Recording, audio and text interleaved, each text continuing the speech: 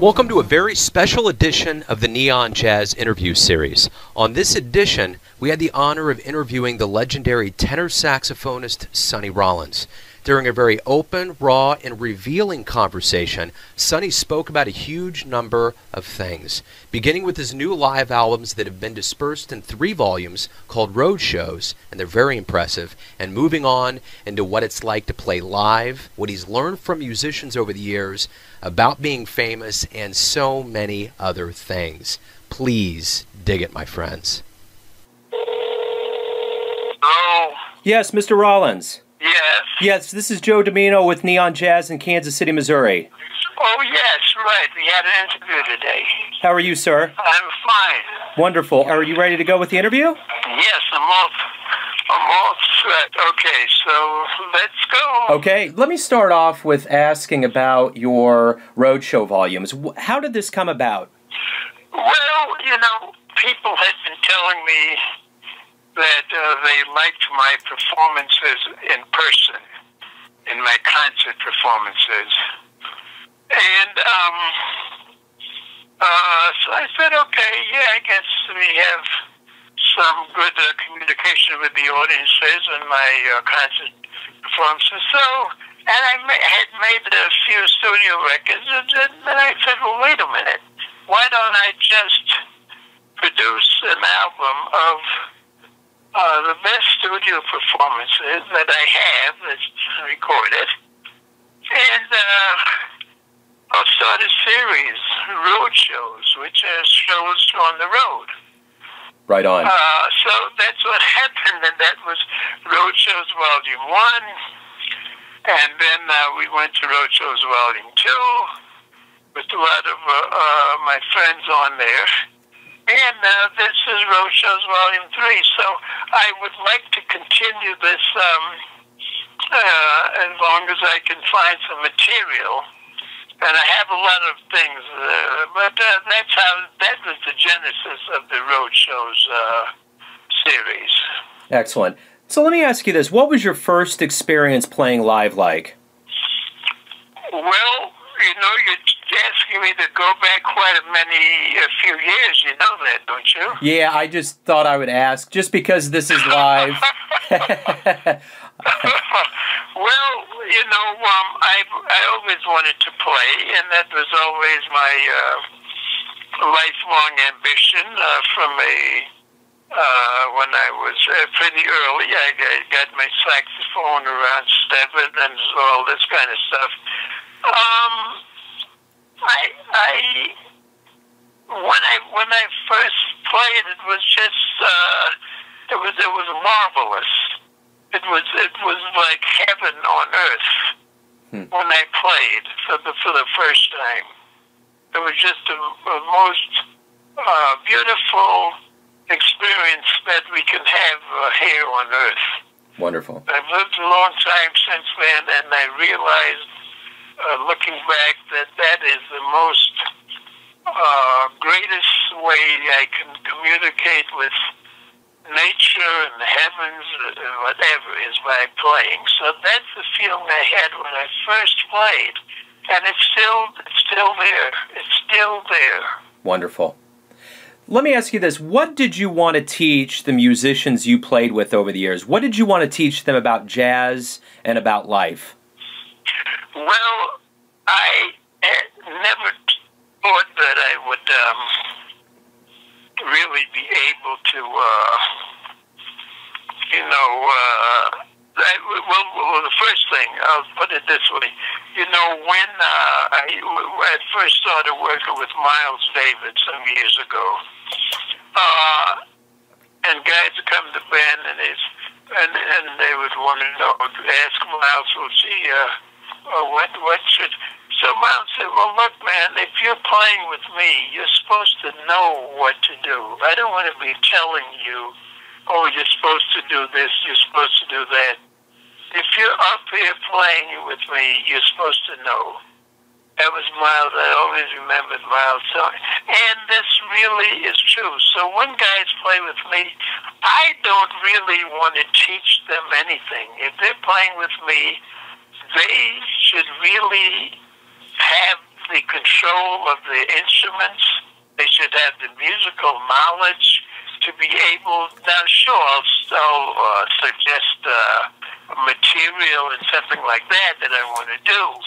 But basically, I don't interfere with guys that I play with because I expect them to be on a certain level. So let, let me ask you this. Speaking of musicians you played with over the years, those musicians that have gone in different directions or those that left us too soon, unfortunately, who do you miss playing with? Well, I, um, boy, that's a hard question. I, uh, that's, that's a hard question.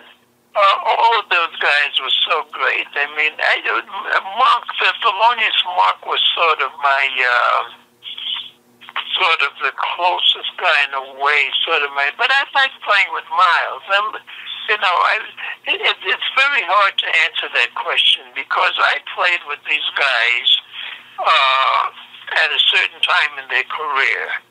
Uh, well, Monk was always the same. Coltrane was he changed a little bit. It, uh, Miles changed a little bit in, in what they're doing, but uh, I would say any of those people. Would I would have uh, J.J. Johnson, the great trombonist. I would. Uh, I miss playing with all of them in in the sense of remembering how wonderful it was to be in their presence yeah. Uh, however, I don't. It's not something that I uh, lament about it because uh, this is this is what life is. We we have experiences. We do the best we can, and that's life. We don't feel sorry for my. In other words, that sort of suggests that, gee, wow too bad I can't play with Miles anymore. And that's not the way I think. Sure. It's great playing with those, a beautiful experience playing with those people, learning from them. All those guys that played that was I played with I played with Lester Young, the great Lester Young. I played with Coleman Hawkins. It was great playing with those guys. And uh uh hey, what what do I, yeah, I appreciate playing with them, but um, I don't uh, miss it in a way that um, it's too bad that I can't play with them again. No. Sure. That, no, it's not like that. It was a beautiful uh, experience for me, a beautiful blessing for me to play with some of these uh, greatest musicians of all time in the world. And uh, that's the way I look at it. Absolutely. Let me ask you a question, Sonny. Do you like being famous? well, am I famous? Ah, I think so. Well, you know, sometimes um, I think I'm. You know, I remember uh, a couple of years ago, and so, and I'd be, uh, you know, we'd be in the airport or something, and. Uh, sometimes somebody would uh, recognize me, at least they'd come up to me, or, and sometimes they wouldn't. So I mean, fame like that kind of, and which is good. I wouldn't, I wouldn't want to be like, uh, uh, say Frank Sinatra or something. Everybody would know who he was and would he would have to go places in a guarded car or something. Yeah. So I, yeah, some people recognize who I am, and. uh it's okay. And uh, as far as uh, being famous, well, I want to live a exemplary life where I, if I'm famous and people know about me, then I want to leave a positive message to people. See, I want to represent myself as being somebody that they can look up to or learn something. And this is what I'm doing. I'm not doing this for people. I'm doing this for myself. Sure.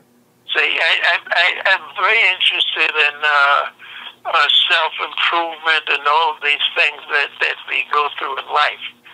So I want to be an example. So being famous, if if I could uh, uh, live my life in a positive way, then being famous, whatever fame I have, is good because then people know, oh, gee, uh, gee, Sonny Rollins uh, helped this old lady uh, that was falling down in the street. When that's good, then I'll, that's using fame for something. Let me ask you this: What's the nicest thing a fan has ever said or done for you? Well, of course, I that's very hard for me. But recently, a fan there, there was a um, contest on uh, my website about uh, to to get involved in a, um, a, a Google Skype thing where I would be answering questions of students. And uh, so people had to send in applications uh, to ask a question of Sonny Rollins, and then they'd have one follow-up question. So a guy, I think he was in Korea or someplace, I don't remember, but he said he. By the way, he didn't win the contest. Contest, so I never uh, got a chance to speak to him face to face. But anyway, he said that um, when he listened to my music, it was it it was it was not like music. It was something different. It took him to different places.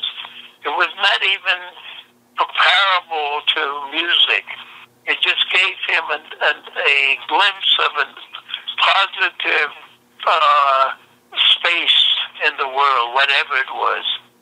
Wonderful. And that that's what my music meant to him. So that was something recently that I remember that uh, touched me. You know.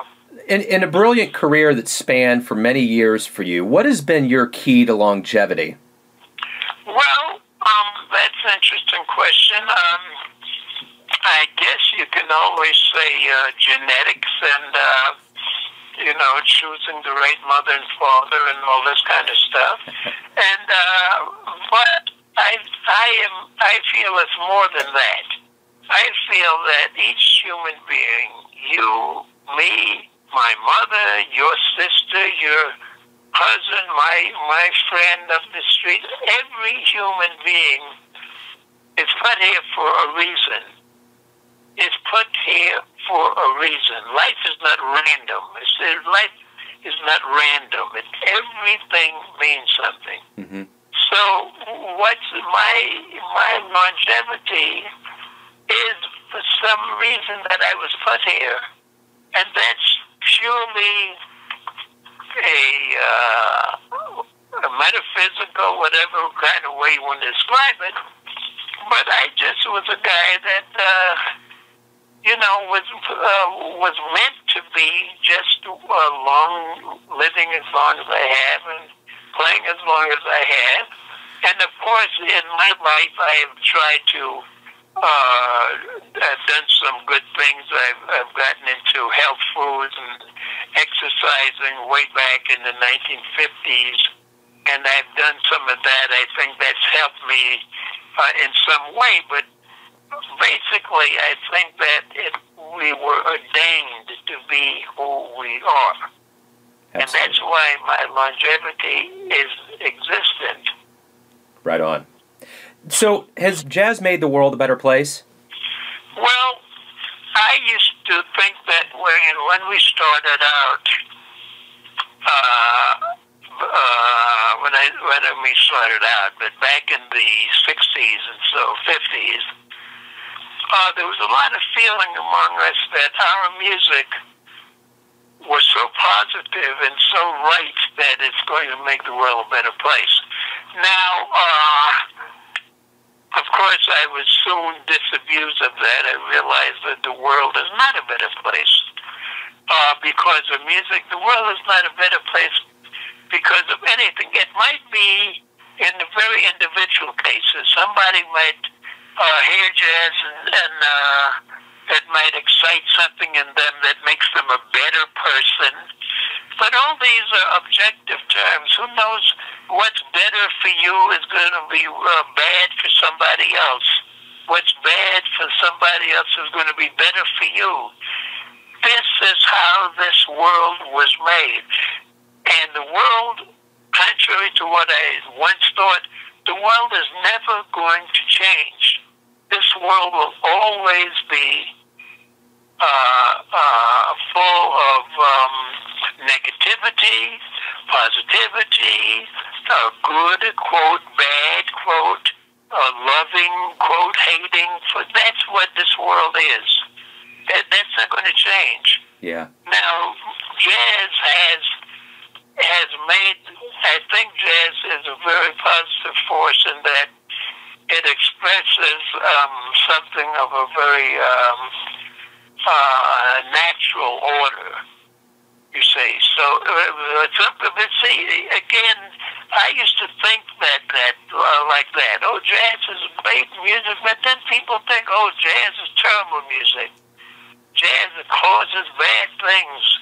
Uh, there, there's a, a woman that's coming out with a book now, as a matter of fact, uh, about her husband. It's, I think the title is "Oh, Jazz Junkie."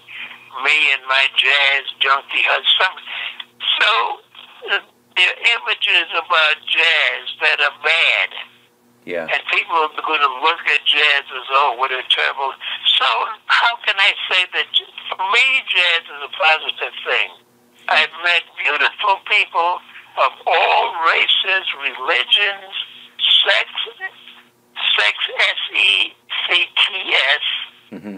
all over the world. Yeah. I've got friends all over the world. I've got people tell me, oh, gee, Sonny, listening to your music has given me strength and inspiration to just get up in the fucking morning. Yeah. So, yes, jazz is positive, but to some people in the world, jazz is negative. So, I mean, there, there, there's no answer to that question. Let me ask you a question. After uh, 50 plus albums, what has been your favorite period of recording or your favorite set of albums? Well, you know, that's funny. Somebody was asking me that. Was I? I I am a very, very self-critical person. You know, I'm very self-critical, and I'm always practicing. I'm always practicing. I'm never content with what I've done before. In fact, I'm ashamed of what I've done before often. Hmm. So to me, uh, you know, I've been asked, well, gee, Sonny, what do you think about uh, your album? And, well, look, my favorite album is yet to be made. I'm not, I'm not, I'm not, uh, I don't sit back when I come in at night and, and put on Sonny Rollins records. See, I want to, my next, I'm far from where, well, I wouldn't say I'm far, but I have a ways to go before I can make a record that I really feel I'm doing what I was put here to do. See, so Yeah. I don't, I, I can't answer that. There's no, you know, there's some records in my career that are better than others and all that, but I, I can't think like that. I have to think in the future which is going to be better. Speaking of, what's next for you in your career? Well, uh, on a on a day by day basis, I'm planning my next uh, album, which is going to be a studio album. Uh, it's not going to be road shows. Uh, the next one I want to make is a studio album. I'm working on uh, that. I'm working on the uh, uh, the material. I'm working on the concepts. I'm thinking about the people I want to use. And so, in in in fact, in, in an everyday sense, uh, that's what's happening next uh, in, in in my life uh, musically. Uh, now, your question was what? What was your question again? My, my question was, what's next? What else do you want to accomplish in your career? Oh wow! Well, what I want to accomplish? Well, one thing I want to accomplish, I want to be a uh, a uh, make a a uh, record and and get a little better musically, and so I can satisfy myself to some extent, and I want to make myself a better individual. I want to make myself a better person. Say, there's certain things that I believe in uh, that I want to make myself. I want to make myself a kinder person, a more understanding person, a person with more wisdom, a person with more just a better understanding of, of, of what I'm here to do, what my possibilities as a human being are. I want to make that happen. So as long as I'm alive, like this morning, and we're speaking to each other, there's the possibility of being a better person. And wow. so there is a lot that I want to do uh, in the next Sonny Rollins. Right on. It's a whole open universe that I'm trying to get better at. Beautiful. In every way. In every way. Sure. Everything I do. You know, I was telling somebody, everything you do, not just every little thing you do in the morning. You get up, you, okay, you go, you brush your teeth, whatever. Everything that you do is important. You go out, you go in the street, you do whatever. Everything means something. Every movement that you make, every act that, that you uh, engage in, everything is important. There's nothing random about this whole universe. It seems that way. Mm-hmm. Yeah, because we're living here on Earth where you got all crazy stuff happening. Yeah, it seems like it's random, but it's not random. And so my my uh, uh, goal, my task, is to make sure that everything I do, every act I do, is of a positive nature. Is something I can look myself in the eyes about when I'm shaving or whatever. Say, did I do the right thing? Am I ashamed of myself? Did I not help pick up that lady who was crossing the street. You know, that kind of stuff. That's what I want to get to the point where I'm better and I'm better and I'm better and I'm better. And that to me is what life is about. That's what we're here for. Absolutely. I'm, I'm, I'm, I'm not here to eat Haagen Dazs ice cream. or, gee, let me see, oh, yeah, let's go out and, and uh, see the new movie. That, that to me is a waste of this precious life. Yeah. See?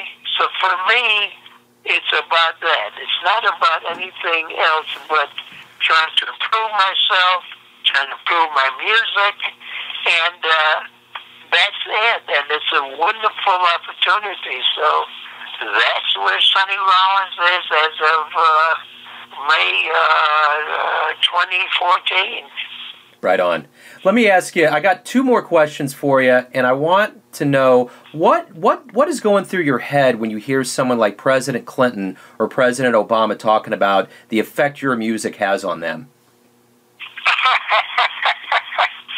well, I'm I'm deeply honored. I mean, and it's I mean it's well, honored is sort of the, the not the right word, but I'm happy I'm happy that uh, I could contribute in some way, assuming that President Obama and President Clinton have done something good for humanity. Let me put it that way.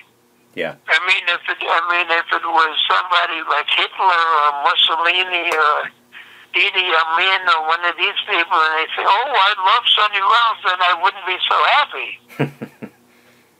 you know what I mean? Yeah, absolutely. But assuming that they are doing something worthwhile, uh, then then yeah, I'm very happy. I'm very happy that they got some kind of inspiration from me. And, and it puts me, you know, I mean, it's almost a, a uh, beyond what I can explain. I mean, it has, you know what I always say about that? I was given a musical gift. Mm-hmm. I didn't create it. I was born with a gift. Yeah. Many of the guys I was born with, we all wanted to be jazz musicians. I was the one that had the gift. Yeah. So when I when you say, well, gee, uh, President Obama and President Clinton really got something in their lives from you, well, that's fine. That's a divine force working. I didn't give myself that gift. God gave me that gift. Sure. See, so I I feel uh, you know I feel good about it. As, as I said, if these people are representing something good in the world, then yeah, then I feel good about it. You know, but uh, I can't take too much credit for it at the same time because I was put here to do what I'm doing. Sure. You know, sure, I studied and I practiced all the time and tried to get better, but I had a gift. I didn't create that gift. That gift was given to me. Sure. So I'm very happy to hear that when uh, uh, great people in our world, presidents, et cetera, et cetera, uh, say that, oh, gee, Sonny, your music helped me uh, through my life. Great. I'm very happy about that. But I think it's part of a bigger plan. It's not part of Sonny Rollins. I'm just part of the picture. Yeah. It has nothing to do with Sonny Rollins per se. Sure. Sonny Rollins is just a part of the plan. Yeah. Right on. Since we're coming out of Kansas City here, do you have any memories of gigging here in Kansas City that you would talk about? Well, I did play in Kansas City only one time in my life. And uh, knowing the history of Kansas City, it was a very uh, moving experience for me uh, just to uh, be playing in Kansas City. Uh-huh. And, um, it, you know, so I was, I was, I was very uh, uh, uh, touched uh, by having that uh, chance to play in Kansas City uh, since I know so much about the great music that was made there in the uh, years uh, before I got there. Sure. And um, other than that, well, I would say also my uh, my my uh, uh, life's partner uh, was from Kansas City, Oh, okay. and uh, so uh, that's also uh, something that uh, was very uh, uh, endearing to me about Kansas City. Wonderful. And uh, so, hey, my thumbs up for Kansas City. right on.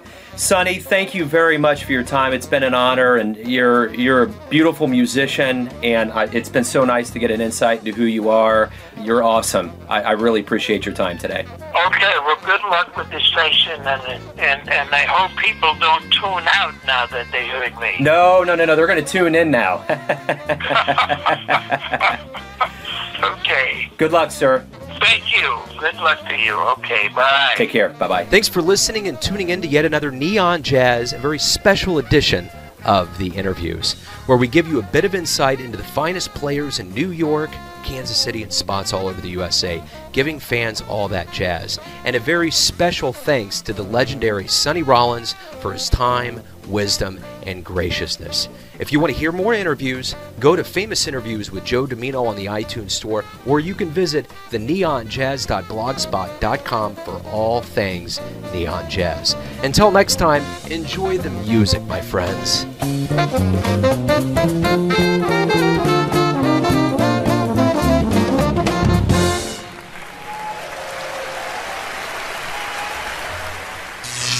Neon Jazz.